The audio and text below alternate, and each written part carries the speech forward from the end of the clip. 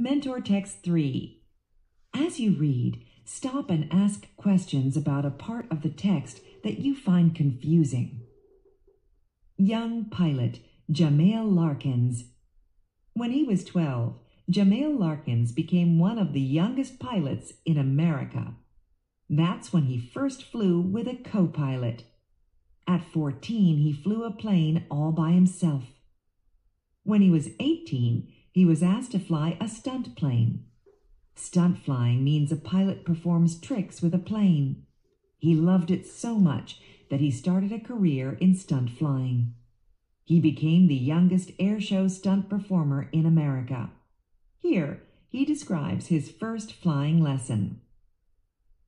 I remember going out to the airport. It was a partly cloudy day in the middle of summer.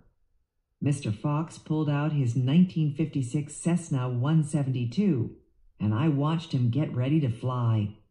Then we hopped in, and I helped him go through the checklist. I remember thinking, I really can't believe that I'm in the middle of an airplane right now. Larkins traveled to Canada for his solo pilot license because the age limit was lower there. After takeoff, the airplane gently rolled in the air over my house, and I could see my dog running around in the backyard. That's when I promised myself that I'd do whatever it took to be involved in aviation. Today, Larkins runs a successful aviation company. Jamail Larkins.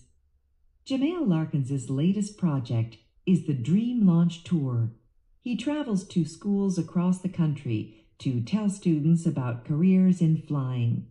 He encourages students to reach for their dreams.